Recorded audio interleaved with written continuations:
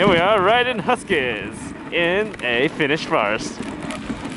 In 36 degree, with the negative 36 degree. Yep. Let's go, go, let's go. Go. Let's go. They're talking to each other. Let's go, yes. That team is like rolling along. I'm seated in this sleigh. I have a blanket. And it's still cold. It's crazy. Oh. There- There's a sunrise.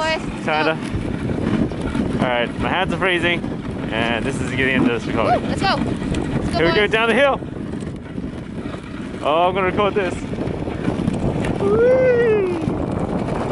Careful with the brake.